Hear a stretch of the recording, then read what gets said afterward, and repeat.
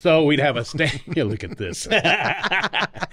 well, what it was at the time is we actually had we build a tower and put it on a stand, right?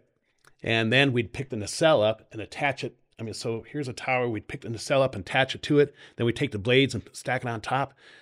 And so we assemble it there. And the final assembly is when the crane crew came in and they'd take the turbine, they'd pick it up in the air like this and then drop it to the ground, set it on the stand, drop the cables down. The final assembly crew would be the ones that hook up the powers up above or the cables up above and hook it to the controller down below, you know, and all that stuff. And that was final assembly. They were the ones that did the final uh, connections for everything before we turned them on. Yeah, all the electrical connections. Yes, everything.